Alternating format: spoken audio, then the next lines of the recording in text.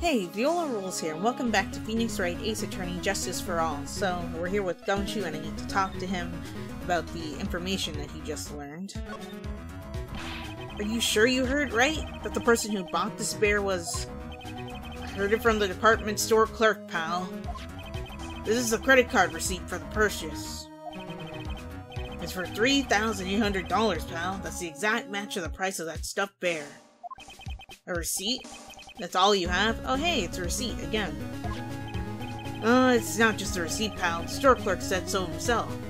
He told me I'm sure I sold the bear to Mr. Engarde. I mean, the clerk even got Mr. Engarde's autograph out of it, pal. So I'm sure that the person who bought the stuffed bear was Mr. Engarde himself. My... my sight is failing me. This, this can't be. Credit card receipt. Okay. But just because he bought the bear, does that mean he bought the camera? So what about the spy camera we found? Oh, that was a dead end, pal. I mean, you can get this kind of thing from anywhere. But for now, I guess I can give these back to you for your file away into evidence. For you to file away into evidence. Yes, please, thank you. I'm gonna need that.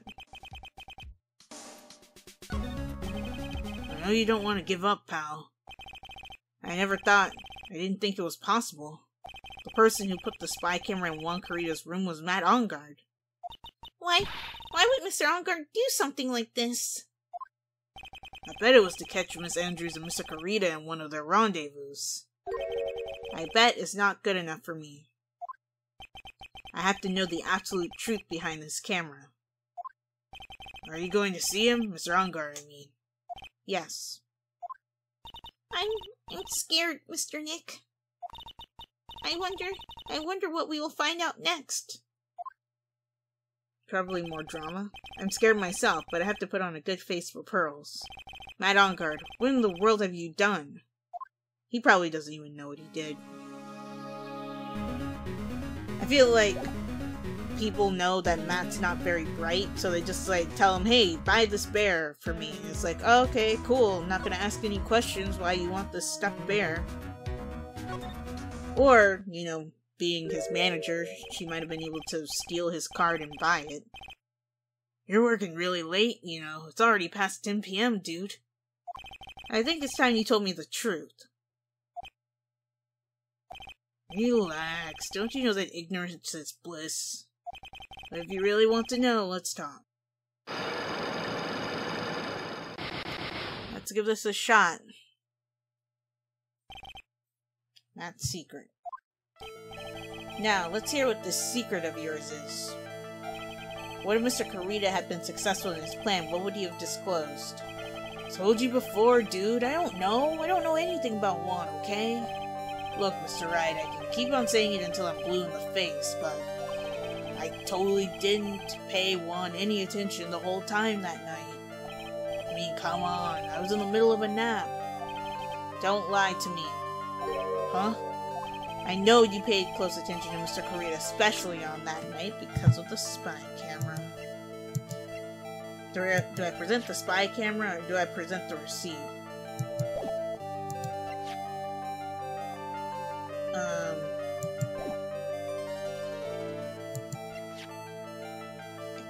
I think I present the spy camera, I'm pretty sure, but I'm not entirely sure.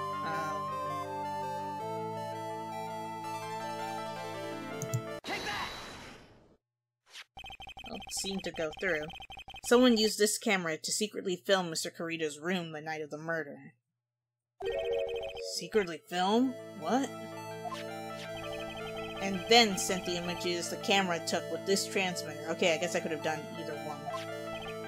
Wow, but dude, where was this camera you're talking about hidden? It was hidden in this stuffed bear. The spy camera was hidden in this bear's eye. A bear that was supposed to be a present from a fan. Mm, that's one. I guess Juan had a few of those kinds of fans too, huh, dude? Actually, I wouldn't say this bear was a present from a fan. Hmm? You sure, dude? Who else could it be from? The person who gave this bear to Mr. Corrida was none other than you.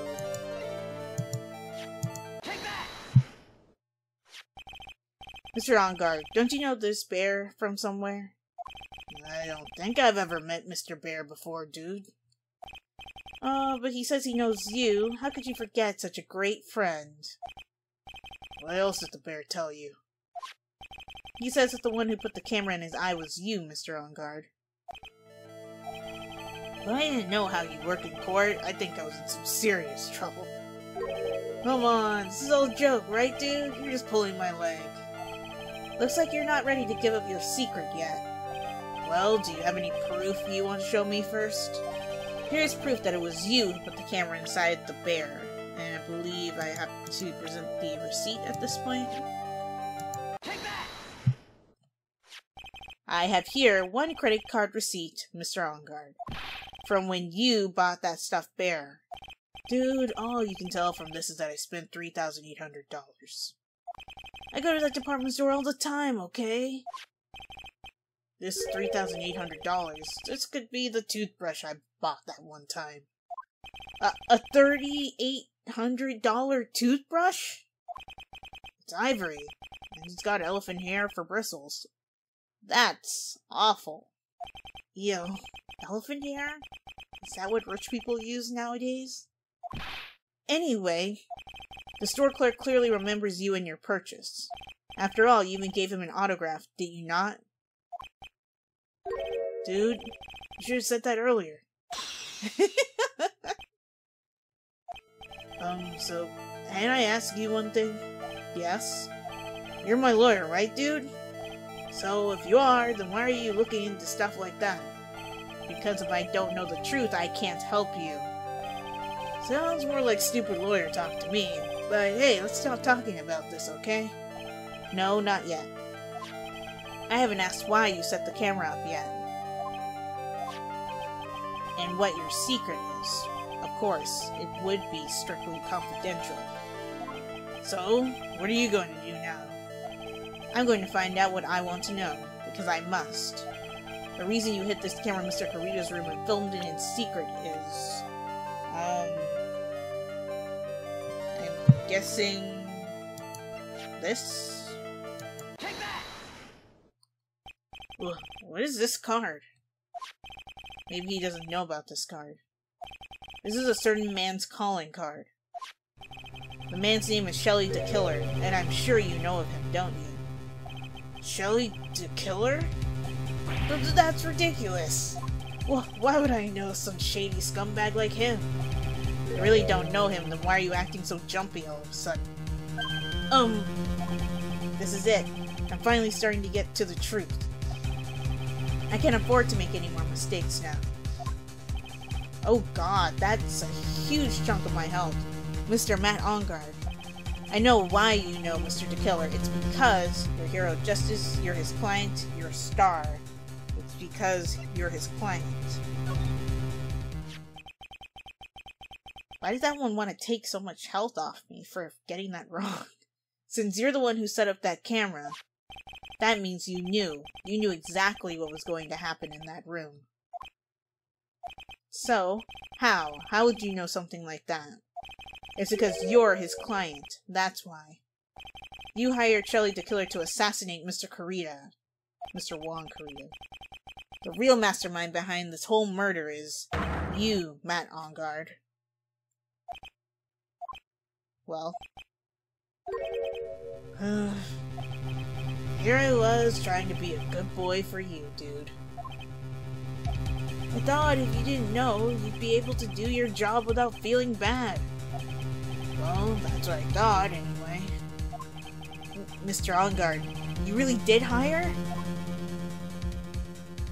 Hold on a sec, I'm gonna consult myself, okay?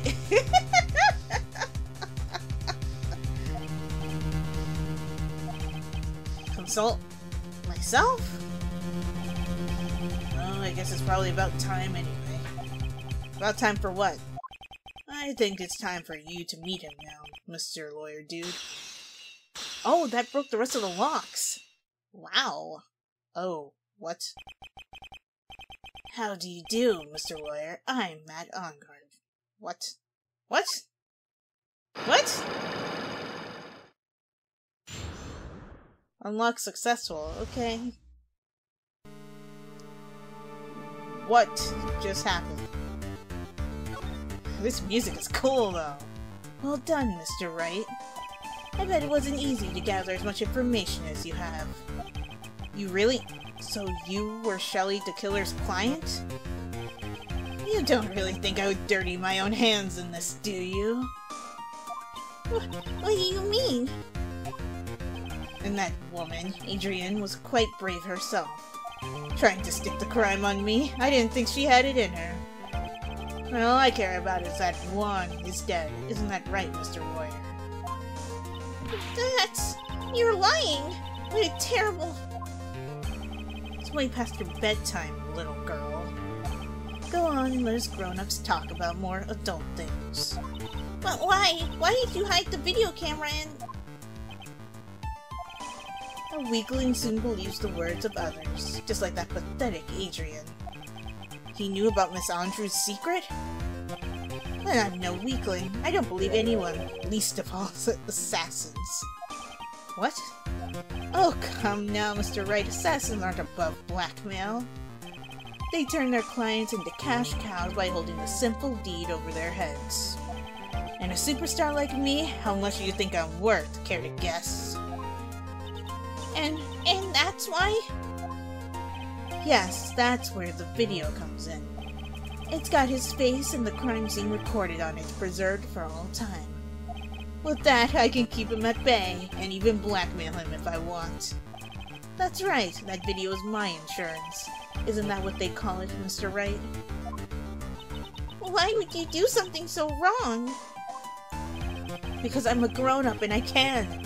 Good of an answer good enough of an answer for you, little girl. Wow. This is quite a turn. Why? Why would you kill Mr. Corrida? Because he was about to sling so much dung onto my beautiful public image. Scandals are a little annoying, aren't they? This is all because of that press conference, isn't it? If Mr. Corrida had been able to give it, then Mr. Engarde's secret would have... Oh well, that's what we call taking advantage of the situation, you know. I had no interest in doing it really, but bit by bit it crept up on me. And then the situation just presented itself perfectly. How beautiful, I thought. And that's... that's how Mr. Corrida ended up dead? Let me tell you something. I'm not like Adrian. I don't depend on anyone. People are simply things to be used, used and thrown away. Put on a sweet innocent face and people will shout will swallow anything you feed them. Apparently I can't read. Adrian fell for it, the assassin too. Oh, how can I forget? Even you fell for it, Mr. Lawyer. Everyone all working their butts off for me, Matt Engarde.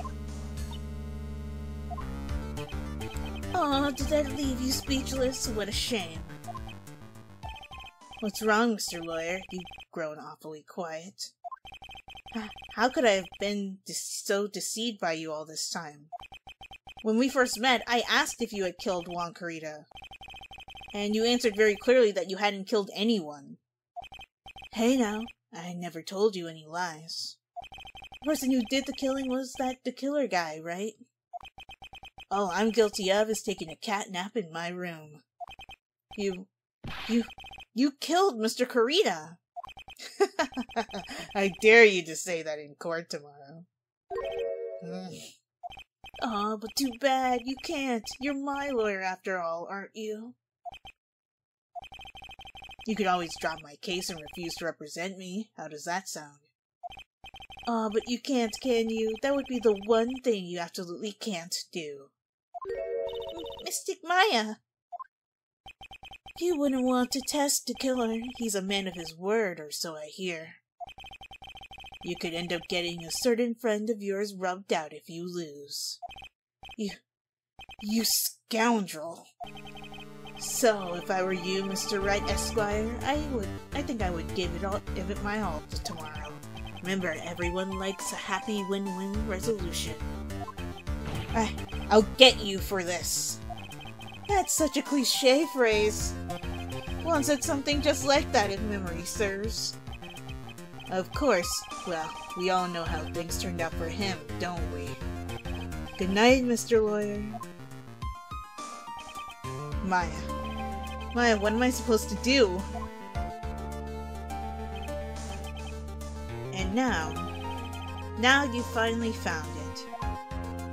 Oh, hi, Edgeworth. The starting line of this case.